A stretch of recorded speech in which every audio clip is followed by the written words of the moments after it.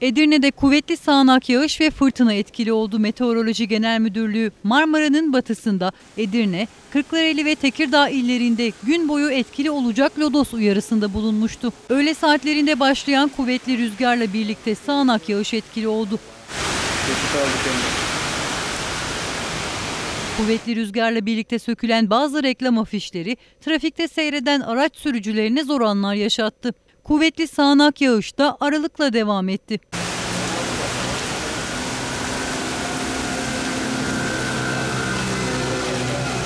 Meteorolojinin tahminlerine göre bugün etkisini yitiren sağanak yağışların hafta sonunda Edirne'de tekrar etkili olması bekleniyor. Hafta sonunda yağışla birlikte hava sıcaklığının da 20 derece civarında seyredeceği tahmin ediliyor.